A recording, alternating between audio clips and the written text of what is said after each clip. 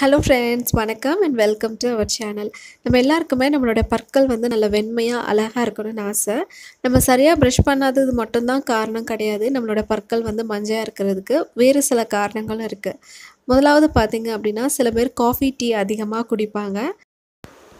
சில பேருக்கு பார்த்திங்கன்னா வெத்தலை பாக்கு போடுவாங்க அதுக்கப்புறம் அதிகமாக சிகரெட் குடிப்பாங்க புகையில போடுவாங்க. இந்த மாதிரி உள்ளவங்களுக்கும் வந்து பார்த்திங்கன்னா பல் வந்து மஞ்சளாக இருக்கும். மூணாவது என்ன அப்படின்னு பார்த்தீங்கன்னா சில பேருக்கு வந்து ஜெனட்டிக்காகவே அவங்களுக்கு வந்து இந்த ப்ராப்ளம் இருக்கும். இந்த மாதிரி இருக்கிறத நம்ம எதுவுமே பண்ண முடியாது. நம்ம ஹாஸ்பிட்டலில் போய் ட்ரீட்மெண்ட் பண்ணுறது மூலமாக தான் சரி பண்ண முடியும். வேறு சில காரணங்களால் நம்மளோட பற்கள் மஞ்சையாக இருக்குன்னா நம்ம சமையலறையில் இருக்கிற ரெண்டே ரெண்டு பொருளை வச்சு நம்மளோட பல்லை வந்து நல்ல பளபளன்னு வெள்ளையாக்கவும் முடியும். அதே சமயத்தில் நம்ம வாயில் வந்து எந்த துர்நாற்றமும் இல்லாமல் க்ளீனாக வச்சுக்க முடியும். வாங்க அது என்னங்கிறத வீடியோவில் பார்க்கலாம். ஒரு பவுல் எடுத்துக்கோங்க. அதில் ஒரு கால் ஸ்பூன் அளவுக்கு மஞ்சள் பொடி சேர்த்துக்கோங்க. நம்ம எல்லாருக்குமே ரொம்ப நல்லா தெரியும். மஞ்சள் வந்து ஒரு கிருமி நாசினி. அது மட்டும் இல்லாமல் நம்ம வந்து வீட்டில் சமைக்கும் போது நான்வெஜ் சமைக்கும் போது நம்ம வந்து அதை க்ளீன் பண்ணிவிட்டு நம்ம ஒரு ஸ்பூன் மஞ்சள் பொடி போட்டு நல்லா கிளறி வைப்போம். ஏன் அப்படின்னா அதில் இருக்கிற அந்த கிருமிகள் எல்லாம் அந்த மஞ்சள் வந்து அப்சர்வ் பண்ணிடும் இன்னொரு முக்கியமான காரணம் அதில் இருக்கிற அந்த கெட்ட வாடை வந்து வெளியே வரக்கூடாது அப்படிங்கிறதுக்காக இந்த ஸ்மெல்லு தெரியக்கூடாதுங்கிறதுக்காகவும் நம்ம போட்டு வைப்போம். அதே இதுதான். நம்ம இந்த மாதிரி மஞ்சள் சேர்த்துட்டு ஒரு அரை ஸ்பூன் இல்லைன்னா கொஞ்சம் அதிகமாக ஒரு முக்கால் ஸ்பூன் அளவுக்கு தேங்காய் எண்ணெய் சேர்த்துக்கோங்க.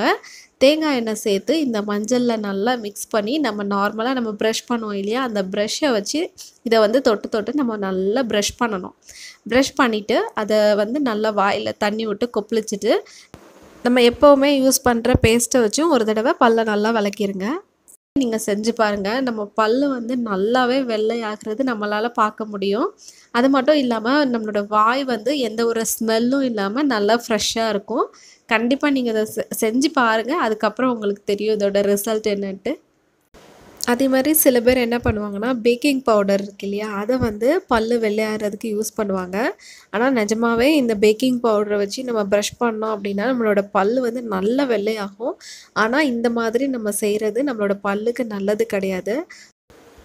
சீக்கிரமே நம்மளோட பற்களோட ஈர் எனாமல் எல்லாமே போயிடும் பேக்கிங் பவுடர் யூஸ் பண்ணுறதுனால நன்மைகள் மட்டுமே தரக்கூடிய தேங்காய் எண்ணெய் மஞ்சள் கலந்து உங்களோட பற்களை வந்து நல்லா வெண்மையாக்குங்க.